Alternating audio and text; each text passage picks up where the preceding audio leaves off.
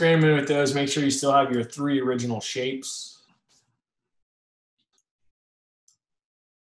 And we're going to take a look at this align panel.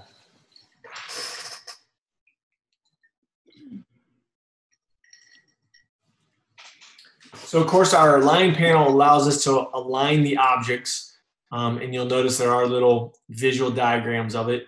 The first button of course is going to align everything to the left edge. So in this case, if I select all three objects and click the first align button, all objects align to the furthest left edge. So because my circle is farthest to the left, the other two shapes move in that direction. If I click on the next point, that's horizontal align center. So it's going to move all of them so that the centers of each shape is in alignment.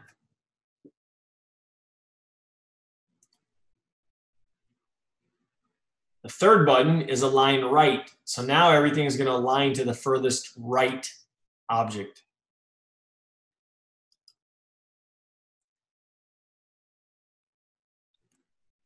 Then I've got vertical align top. So all objects will align to the topmost object. Then I've got vertical align center.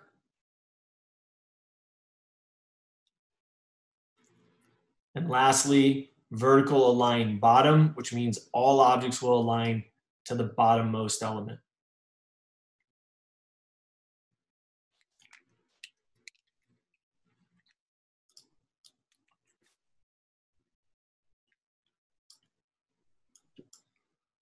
Now I'm going to take my circle and I'm going to drag it beneath the other two objects, not underneath them, but below them.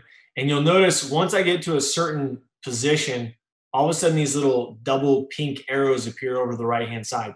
And so what those double arrows are telling me is that there's an equal amount of space between the top of one object and the bottom of another object. And now there's an equal space amongst all objects.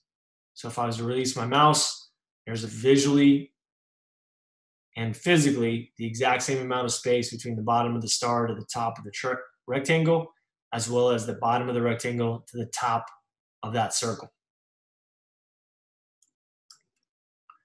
Now, in some cases, I might want to adjust the spacing. So I'm going to move one object closer to the other.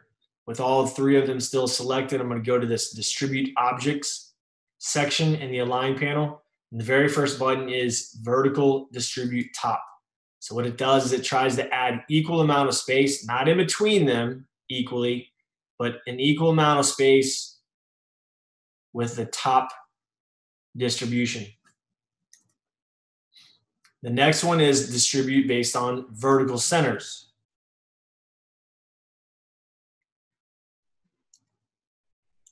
Then I've got vertical bottoms.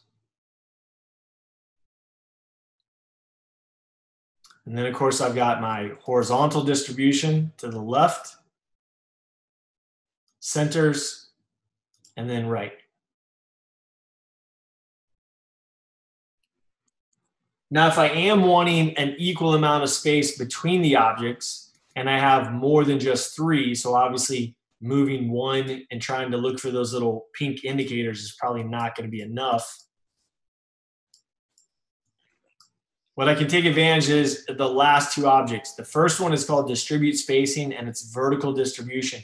So when I click on that button, it now notice it gives me an equal amount of space between all the objects.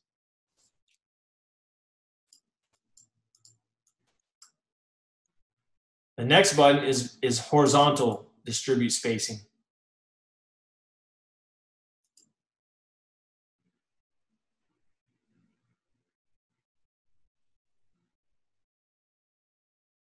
Then on the far right hand side, you'll also see there's an align to. So I can actually align these elements based on a key item.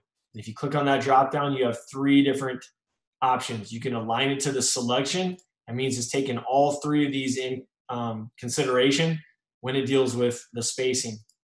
If I go to align to key object, now that means I can click on one of the three objects. Notice I get a darker blue border to appear And now it's going to align based on that specific object.